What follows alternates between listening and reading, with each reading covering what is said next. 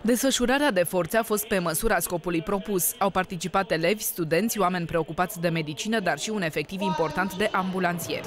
La acest curs participă din partea Serviciul Județean de Ambulanță Bihor 62 de echipaje, constând în medici, asistenți medicali, uh, șoferi ambulanțieri și uh, peste 60 de voluntari. Au fost organizate zeci de ateliere în care cursanții au învățat cum să intervină în cazul producerii unui stop cardiac. Ne luăm careper, jumătatea sternului și punem podul palmei și facem 30 de compresii.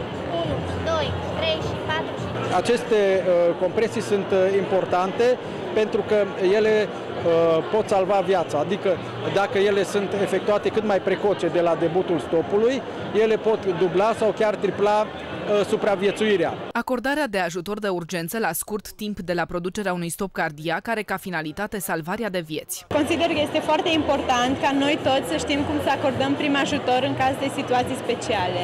Foarte important ca cetățenii să cunoască, pentru că oricând se poate ivi o situație de genul să aibă o persoană nevoie de ajutor. Niciodată nu știi când te poți întâlni cu un accident, Doamne ferește, sau cu o situație complicată și ești pus în cazul în care nu știi ce să faci. Să ajute Dumnezeu să nu folosim niciodată, dar când e cazul să poți să știi că intervenția ta poate salva o viață. Cursul a fost organizat sub cupola unui centru comercial din Oradea. Organizatorii nu au dorit să stabilească un record în domeniu, singurul beneficiu fiind acela că un număr mare de oameni au învățat cum să salveze alți oameni într-o situație critică.